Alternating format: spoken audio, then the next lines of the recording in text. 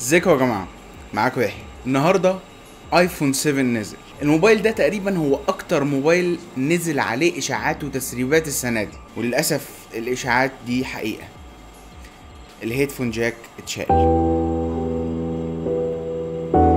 قبل ما نبدأ بس أنا عايز أقول حاجة. شركة Apple هي أكتر شركة بتعمل إعلانات حلوة. أكتر شركة بتقنعني فعلا إن المنتج اللي مقدمينه هو أفضل منتج.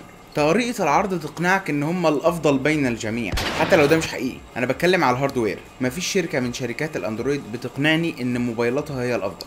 سواء كانت سامسونج أو LG أو سوني أو HTC أي شركة. ده من ناحية ال hardware. من ناحية ال software قصة تانية شوية.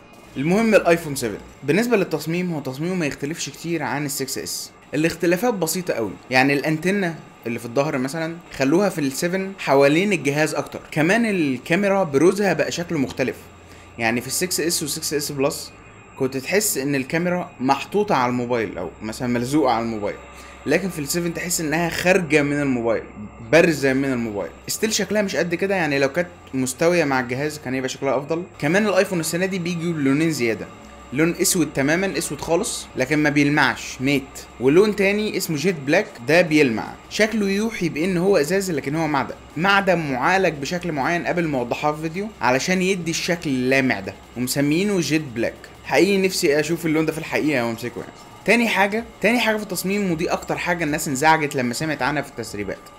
مفيش headphone jack والإشاعات حقيقية. ودي حاجة وحشة لو أنت حد شاري wired headphone غالي لكن لأي حد تاني في الحقيقة مش بالسوء ده.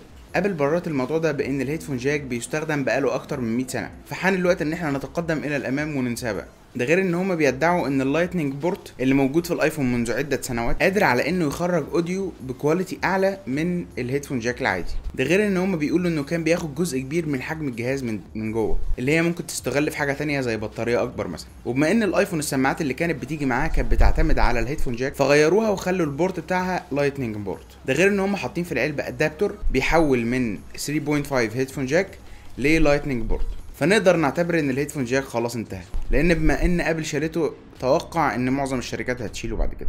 كمان بالنسبة للتصميم اعادوا تصميم الزرار بتاع ال home بحيث إنه يبقى force touch زي ال trackpad اللي هي في ال MacBook وزي الشاشة بتاع ال iPhone 6s اللي هي كان فيها force touch برضو بس مسميينه 3D touch وهي الفكرة إن أنت الزرار ما عادش بيتك تكة لجوه لا هو بيديك إحساس التكة.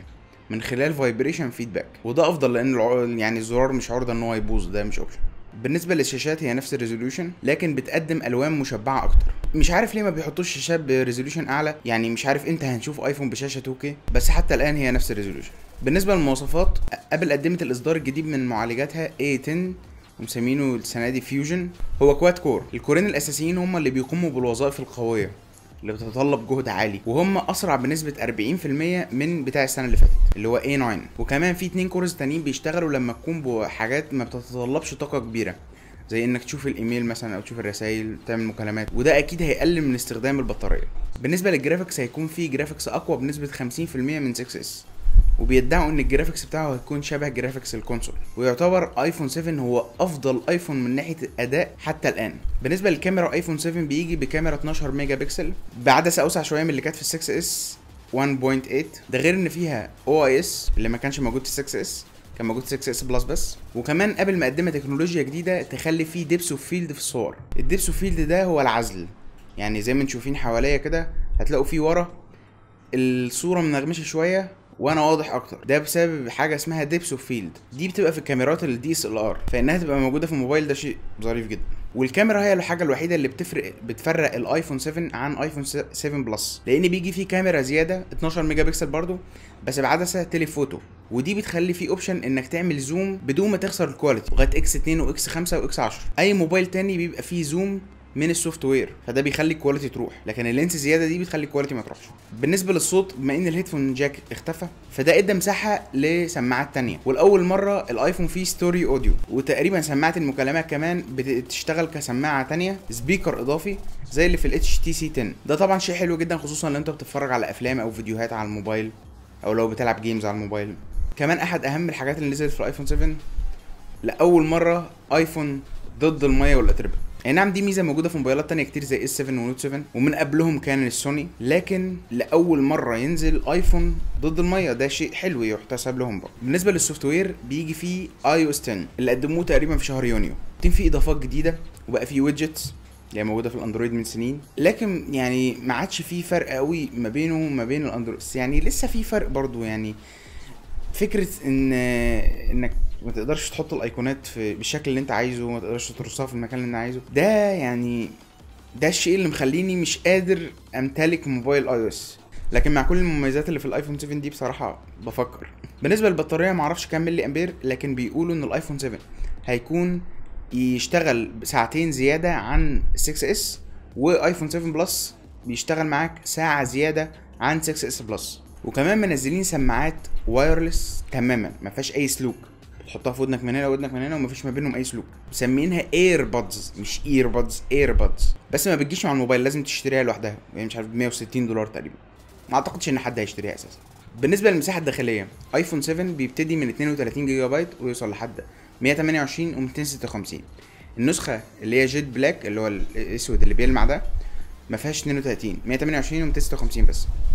كمان Apple حدثت ال iPhone 6S لغوا النسخة اللي هي 16 جيجا بايت وخلوه بيبتدي من 32 جيجا بايت بالنسبة للأسعار iPhone 7 هيكون بنفس سعر 6S الحالي و6S هيرخص شوية.